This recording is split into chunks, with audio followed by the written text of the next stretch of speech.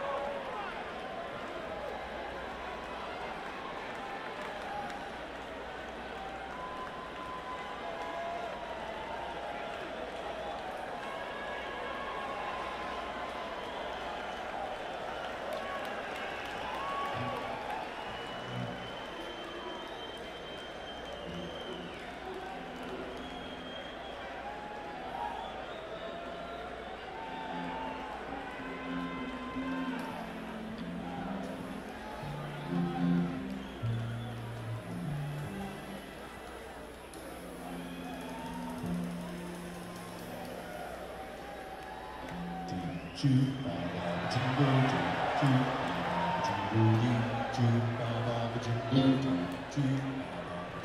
part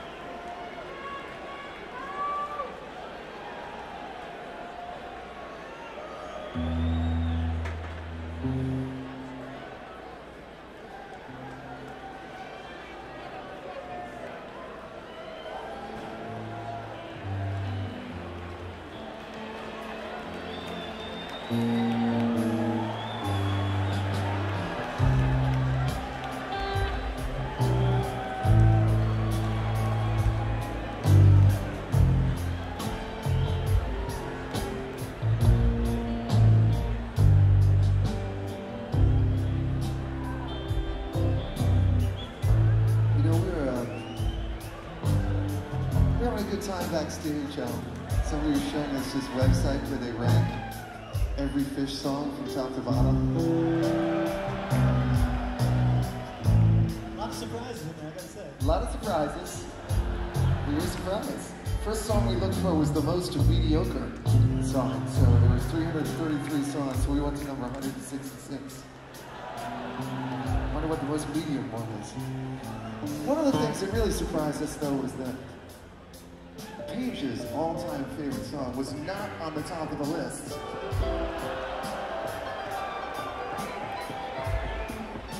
So we're gonna play it for you right now. Every night we walk off for the encore, we go back, and Page says, "Can we please play Sleeping Monkey?"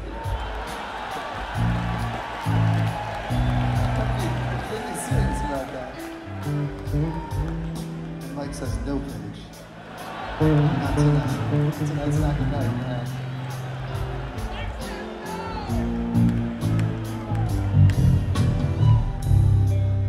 Now I'm gonna singing. I'm gonna tell you one more thing about this song. Somebody just shut me up. I remember when my friend Tony, who plays bass, Tony Markel, first saw Phish. The thing that struck him most about the band was that the last song we played ended with the drummer just singing the harmony while nobody sang the melody. There is no other song. I thought this is maybe It's the only time in history where the drummer sings the, the harmony while no one sings the melody. So here it comes. You guys ready? You sitting down? That is a hell of a build-up. Better be fucking good, man, after all that. Jesus.